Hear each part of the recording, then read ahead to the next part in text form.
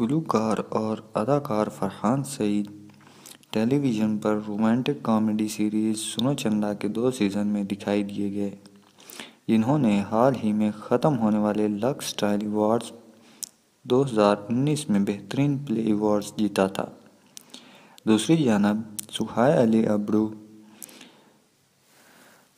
Motor cycle girl کے لیے بہترین اداکار فلم کا ایوارڈ جیت چکی ہیں۔ اور سماجی ڈرامہ سرخ چاندنی میں اداکاری کر رہی تھیں یہ دونوں اداکار پریم گلی نامی ایک ڈرامہ کے لیے اکٹھے ہو رہے ہیں، جس پر فضا افتخار نے لکھا ہے جنہوں نے تنقیدی اور تجارتی اعتبار سے سراہے جانے والے سیریل رانجھا رانجھا کر دی کے لیے اسکرپٹ بھی لکھا تھا، جو حال ہی میں ختم ہوا۔ ڈرامہ نگار نے سوشل میڈیا پر جا کر فرحان اور سہیہ کی ایک تصویر شیئر کی جو اس ڈرامے میں حمزہ اور جیا کے کردار میں جلوہ گر ہوں گے، جس کی ہدایت کاری قاسم علی مرید کریں گے۔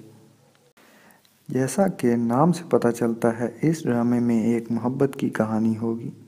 فائزہ افتخار کو حیرت انگیز اسکرپٹ کے لیے جانا جاتا ہے اور ہم امید کرتے ہیں کہ اس فہرست میں ایک اور شاندار اضافہ ہوگا۔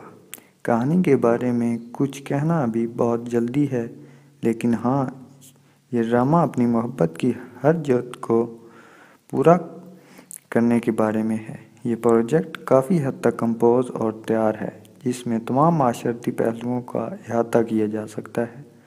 یہ ڈرامہ سکس سگما کی پروڈکشن ہے اور اے آر وائی ڈیجیٹل پر پیش کیا جائے گا۔